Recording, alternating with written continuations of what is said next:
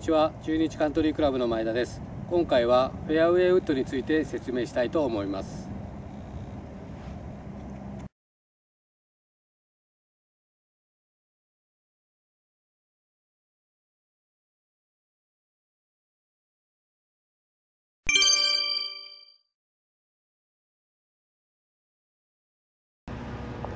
はい、それでは構えについて説明します。まずスタンスの幅ですけども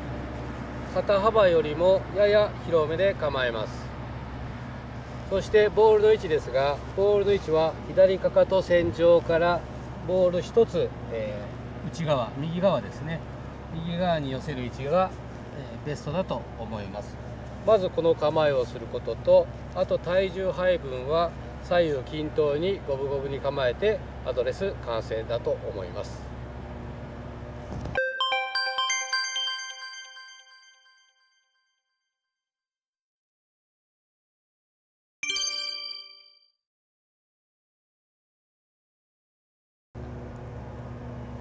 い、次はバックスイングについて説明します。まず先ほど言ったようなアドレスを取りバックスイングに入りますけどもバックスイングの最初のポイントは30センチまっすぐ後方線上に引くイメージが大事です。これは内側に上がりすぎるとボールにミートヒットしずにミート率が下がりますので最初のスタートで30センチ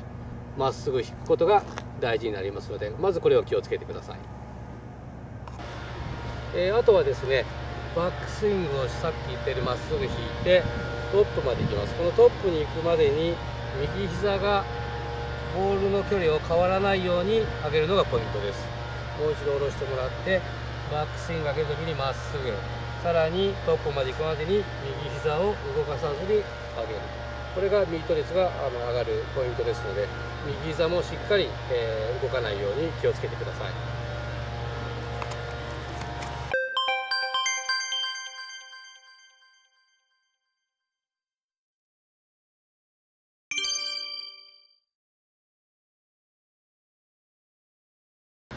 えー、次はダウンスイングについて説明します。先ほど言った右膝を止めてヘッドをまっすぐですね。でトップまで上がります。これでダウンスイングに入るわけですけどもミートをするためにはしっかり上から当てていかなければなりません。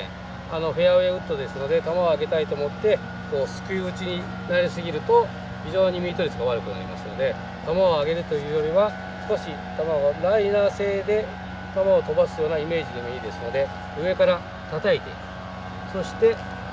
フォローをしっかりとってバランスよくコンパクトに振ることが大事ですのでそれを気をつけて、えー、ダウンスイングはするようにしてください。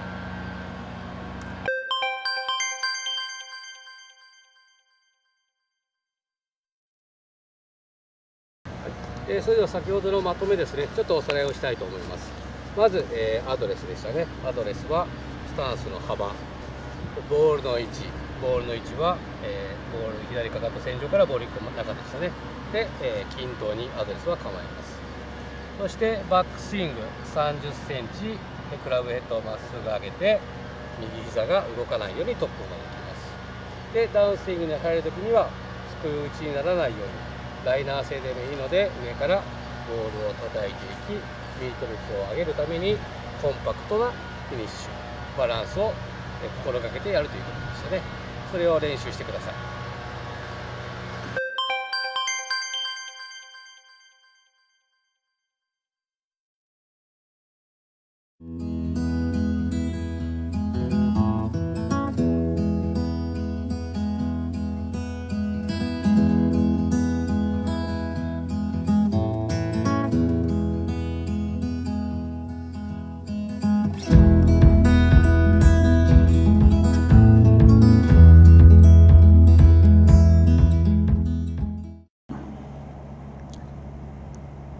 以上のことを心がけて練習してもらえればかなりコースで役立つと思いますので是非練習してみてください。